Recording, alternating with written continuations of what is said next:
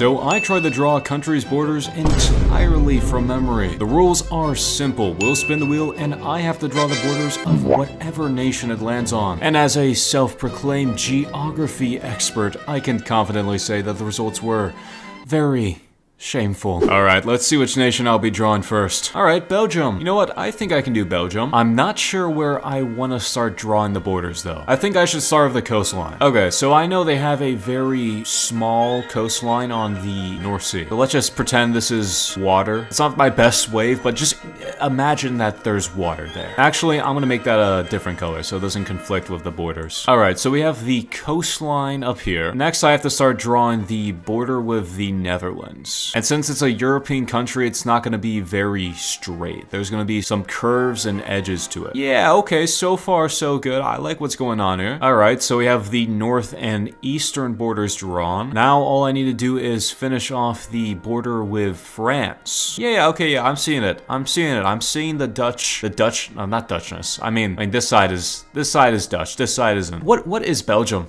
By the way. Why is Belgium a country? Just split it up at this point. Like, honestly, I think it would just be a very good thing for the world if this side went to the Netherlands and this side went to France. Everyone here speaks French. Everyone here speaks Dutch. Like, I think Belgium is a great place, great food, and the Belgian people are great people. But low-key, Belgium's existence has kind of been a uh, net negative for the world. If you need proof, just ask anyone who lives in the Congo. They'll probably have a thing or two to say about a certain King Leopold. But that's not what really matters here. We're just drawing the borders. Okay, that's pretty accurate. You you gotta admit, that's pretty accurate. Look at that. Look at that. Like, that's, that's like spot on. I'm gonna take that one as a win. Okay, next, Nigeria. Okay, our first African nation. I think I have a pretty good idea of what Nigeria's borders look like. I think with most of these nations, I want to start off with their coastline because that's a pretty distinct feature. And then the borders kind of, I think, curve up around here near Cameroon. Like when I'm thinking about the borders of a nation, I'm also kind of thinking about their neighbors' borders. I don't know why, but it's just kind of easier to think about the borders of the neighbor nations rather than the nation itself. Now we got the north part near Niger, and I think the rest is pretty much essentially just gonna be a straight line. There we go. There we go. Look at that. And just for a little bit of fun, I want to try drawing the Niger River. There we go. That's my Nigeria. Okay, I think it's pretty good. That looks like Nigeria, but unfortunately my beautiful drawing of the Niger River doesn't actually match up all that well, but that's fine. We're not drawing rivers here, we're drawing borders. That was just for fun. A little bit of extra. Cuba, our first island. You know, whenever I see the shape of Cuba, I'm always reminded of like a like a snake. It has like the long tail shape, and then it like curves off into like a little bit of a face. I know it also has some like barrier islands, so I'm gonna I'm gonna try to draw some of those. And there's also another smaller island a little south of the main island of Cuba. I don't know what it's called, but I do know it's there. Let's just draw Florida as well because it's Florida. Just draw the keys as well. yeah.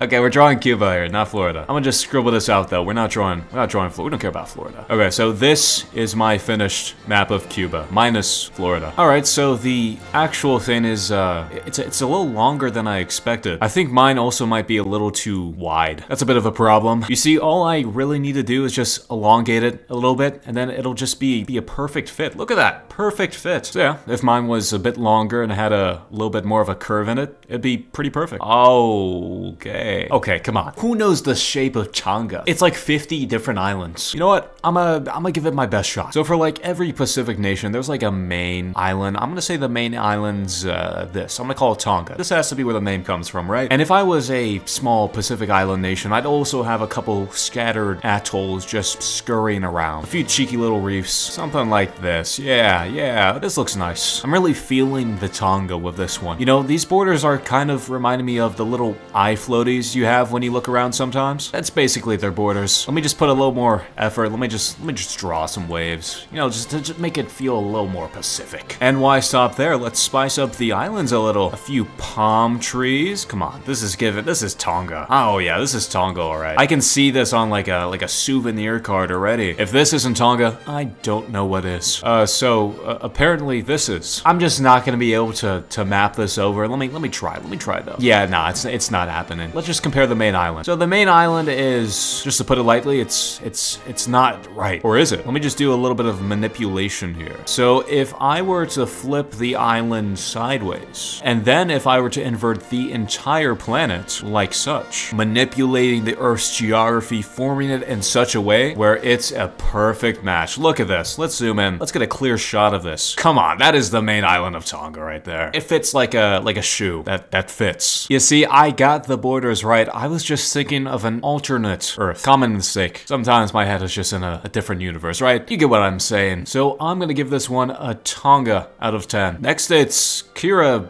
Bass. Um, Oh, shoot. Uh, that's crazy. Kiribati just disappeared off the wheel. Wow. I'm sorry. I, I'm not drawing another random Pacific island nation. I have no idea. Haiti! Haiti! I love Haiti. All right, so Haiti's shape kind of looks like a like a claw. You know those gripper toys that you had as like a kid where it had like a long handle and at like the very end there was something that could like grab onto something? That's pretty much what Haiti looks like. Two long little little noodle shapes at the end. Something like this. I know there's also an island somewhere though. I want to say the island's like here. You know, one of the the interesting things I learned about Haiti recently is that they actually used to own the entire island of Hispaniola. Sometime in the 18th century, they just conquered this side, which I, I didn't know about that. I think that was pretty cool. But of course, that doesn't matter. We're drawing modern Haiti here. All right, so overall, pretty close. Other than the fact that I put this island up here. Overall, though, pretty good job at Haiti. St. Lucia. All right, so you want to know what St. Lucia looks like? You're going to want to pay close attention because it's a real tough one. Okay, you ready? Three,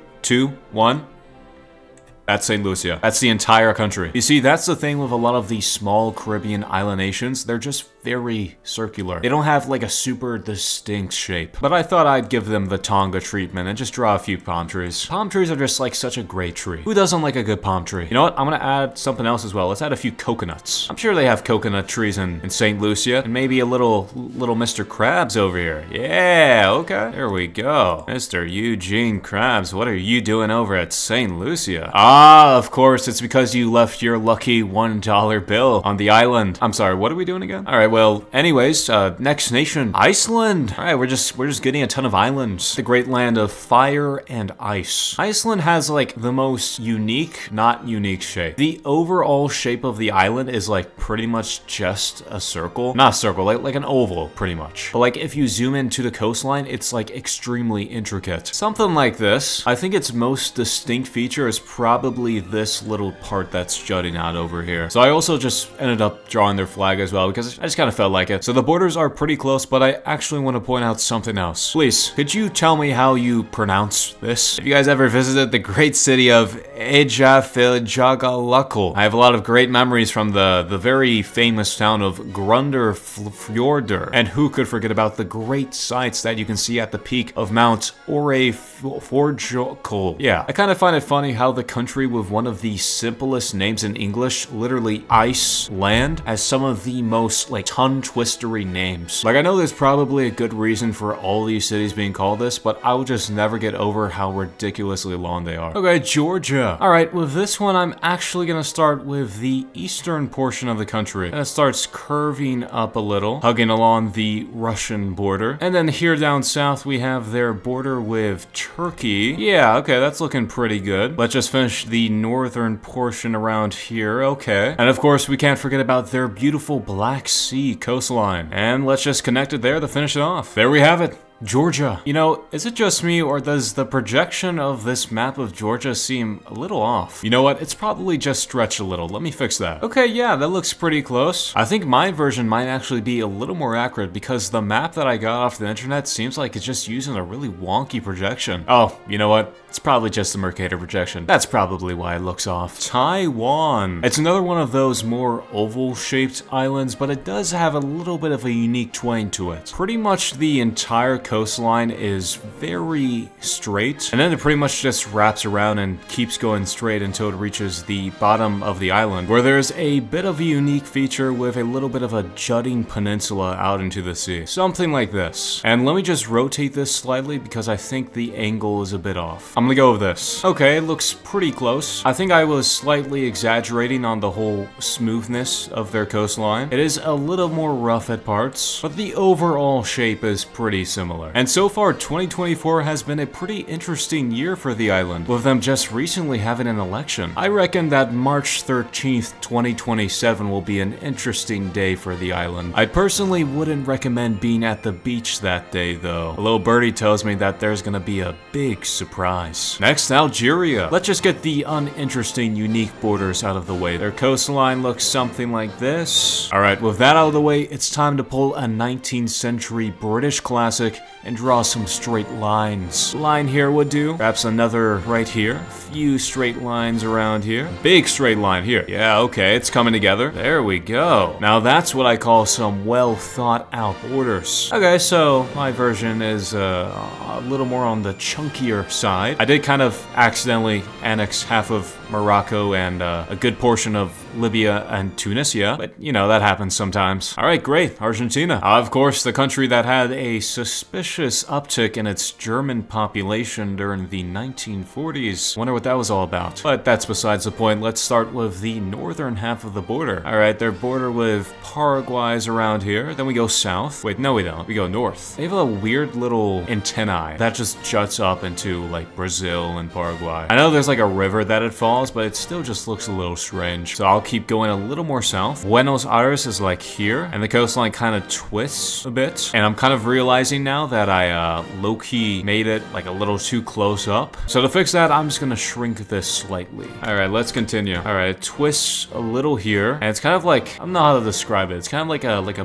bumpy road. I feel like that's most coastlines, but like Argentina specifically is pretty bumpy. Like specifically bumpy, not rough. And then it kind of curves off here in the tip of South America. But I know they have like a strange border with Chile here. So, so then their border with Chile pretty much just defines the rest of their outline. And it should look something like this. All right, it's decent. It's decent. I was kind of intending for this to be this, but it ended up actually being a little more north than I expected. Also, the entire country is a bit more tilted than I thought. So mine is kind of close, but it's still pretty rough. If you know what Argentina looks like, you could probably gather that it's maybe Argentina. Okay, South Korea. I'll start off with their border with the north, and I believe their eastern coastline is relatively smooth. Not smooth, but like smooth for coastline standards. And I know the country's southern coastline is pretty interesting because of how intricate it is. I know there's a ton of islets and bays nestled into places, and then it kind of ends up looking something like this. I feel like this one's probably a little inaccurate. I'm not really feeling this one right now. We'll see though. Ooh, yeah, that's uh, that's just like not right. I think I got a little too focused on like the intricacies of the southern coastline that I ended up uh, exaggerating it slightly, ever so slightly. Like it kind of looks like South Korea, just if South Korea was a metaphorical Pepsi can that I crushed and threw in the garbage, then I'd say mine is probably pretty accurate. But honestly, I think my version's probably fine because their flag is pretty much the Pepsi logo anyways, so their borders kind of looking like a soda can is pretty on brand. Next is Chile. Okay, since we just did Argentina, this one shouldn't be so bad. I'm gonna try to get some of the smaller details on this one though. I know the northern half of the coastline is not too intricate, but then once you get around here, it kind of curves up a bit. Something like that. There's like a bit of like a bay here. And then once you get to the southern part, the coastline gets really wonky. There's like a lot of fjords in this southern half. Then you got their border with Argentina here. I mean, I mean the, the entire border is pretty much of Argentina, but like this part specifically is like a straight line with Argentina. And then for the rest of it, you just pretty much go up. Okay, Chile's looking a little too thick, so let's fix that. All right, that looks good. So I think the details between mine and the real one are relatively similar, but the positioning is a little off. The real thing low-key has like a like a Michael Jackson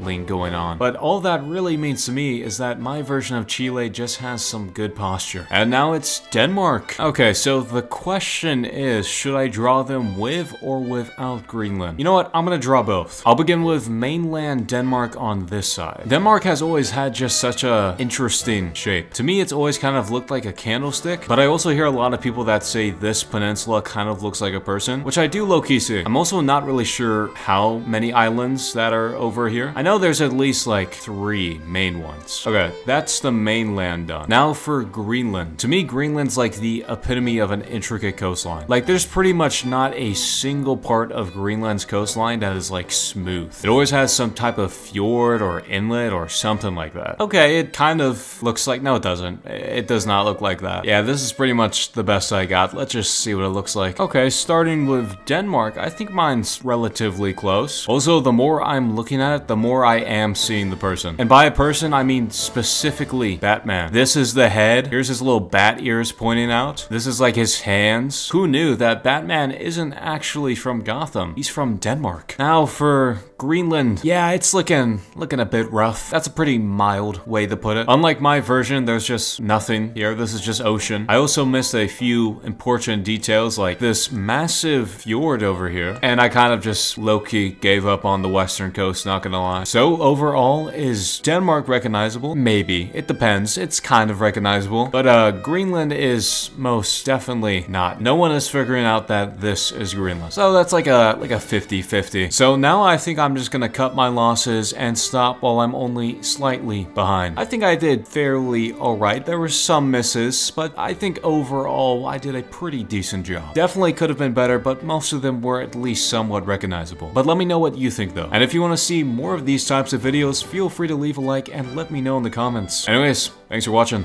I'll see you then.